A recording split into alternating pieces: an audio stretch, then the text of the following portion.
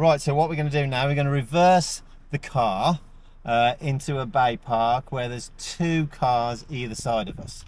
So first of all, what we're going to do, we're going to get our reference point. Now, obviously, reference points are different in different cars. So in this car, this is the new shape Fiesta.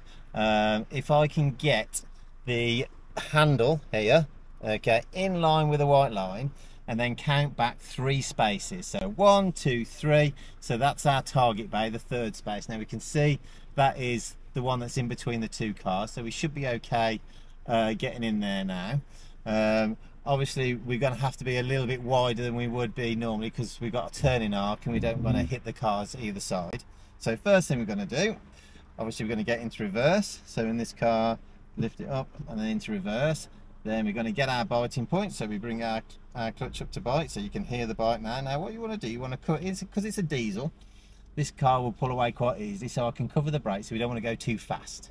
Okay, then what we're going to do, we're going to do all our observations now because we're reversing.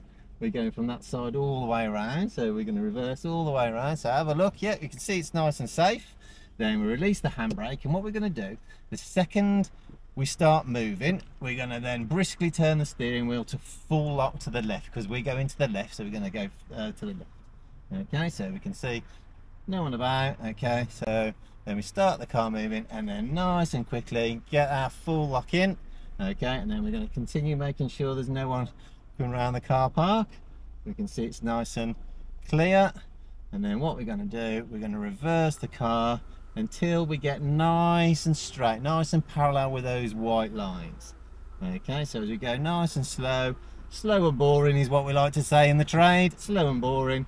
Okay, and then when we get nice and straight with the white lines, okay, we can stop the car.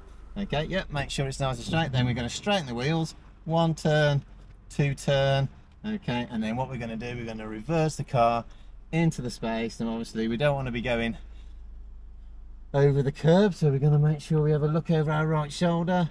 Okay and then stop the car. And we're nice and straight in and then we apply the handbrake into reverse and then we can let the pedals go. Okay and we've done our reverse bay park